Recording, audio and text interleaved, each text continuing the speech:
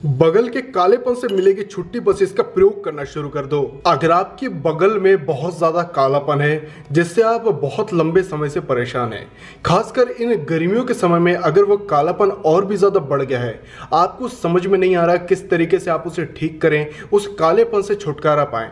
तो आज की इस वीडियो को देखिए, एक ऐसा उपाय आपके सामने पेश करूँगा, जिसका इस्तेमाल करके आप अपने बगल के कालेपन से हमेशा हमेशा के लिए छुटकारा पा सकते हैं। बहुत ही सामान्य सी चीज़ें होंगी जिनका इस्तेमाल कोई भी कर सकता है और अपने बगल के कालेपन से पूरी तरीके से छुटकारा पा सकता है। अगर कोई भी व्यक्ति इस नुस्खे का मात्र पाँच से सात दिनों तक प्रयोग करे तो वो अपने बगल के कालेपन से पूरी तरीके से छुटकारा पा सकता है और वो जो स्किन होगी, वो पहले जैसी हो जाएगी। आपकी ओवरऑल बॉडी का जो कलर है, वैसा हो जाएगा। आपकी स्किन बहुत ज़्यादा गोरी हो जाएगी। वीडियो के एंड में मैं आपको एक ऐसी टिप दूँगा, जिसकी मदद से आप अपने बगल के कालेपन से और भी जल्दी छुटकारा पा सकते हैं। आइए चलिए इस उपाय को, इस रेमेडी को तैयार करना शुरू करते हैं। इस रेमेडी को बनाने के लिए आपको चाहिए होगा कोलगेट चारकोल। इसमें मौजूद चारकोल आपकी जो गंदगी होगी, उसे खींचने का काम करेगा, जो कि बहुत ज़्यादा ज़रूरी है। कुछ इतनी मात्रा में, एक मटर के दाने के बराबर आपको इतनी सी मात्रा में बस जो है इसे ऐड कर लेना है। ये देखिए, इसके बाद यहाँ पर आपको लेनी है दूसरी चीज़, जो कि रहेगा नमक। नमक हमारी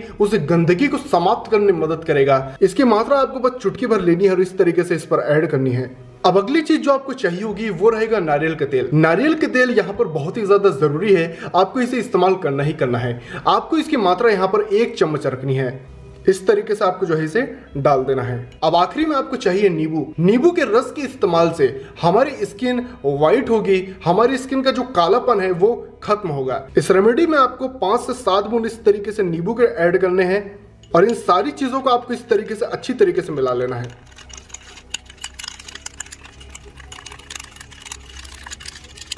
ये देखिए, हमारी रेमेडी जो है पूरी तरीके से बनके तैयार हो चुकी है, जिसका प्रयोग कर आप अपने बगल के कालेपन से छुटकारा पा सकते हैं। बता दूँ, इस रेमेडी को आपको बहुत ज़्यादा मात्रा में बनाने की ज़रूरत नहीं है। आप इसे थोड़ी सी मात्रा में बनाइए और जिस तरीके से मैं आपको बताता हूँ, आप उस तरीके से प्रयोग कीजिए, आपको रिज़ल्ट बहुत अच्छा मिलेगा। तो आपको करना क्या है जैसे आपने इस रेमेडी को बना लिया, आपको थोड़ी सी मात्रा में इसे लेकर के इस तरीके से जो है सर्कुलर मोशन में अपने बगल के ऊपर आपको जो है लगाना ये देखिए, इसमें जो भी चीज़ें हमने डाली, वो सारी चीज़ें बहुत ही कमाल के असर दिखाएँगी। इसे आपको इसी तरीके से लगा करके 20 मिनट के लिए छोड़ देना है। उसके बाद आपको जो है ठंडे पानी से अपने बगल को जो है साफ़ कर लेना है। तो चलिए बोनस टिप के बारे में बात करते हैं, जिसके इस्तेमाल से आपको रिज़ल्ट और भी ज़्यादा अच्छे मिल सकते हैं। आपको करना क्या है कि आपको नींबू लेना है और नींबू को काट करके आपको जो है इस तरीके से काटने के बाद अपने बगल के ऊपर पहले लगा लेना है। अच्छी तरीके से रब कर लेना है नींबू को। जब आप इस तरीके से काट लेंगे तो आपको जो इसे इस तरीके से अपने बगल के ऊपर जो है रब करना है और रब करके आपको जो है दस मिनट के लिए छोड़ देना है। उसके बाद आप इस रेमेडी को ऊपर से लगाइए और उसके बाद ऊपर से जो है आप 20 मिनट और छोड़ दीजिए।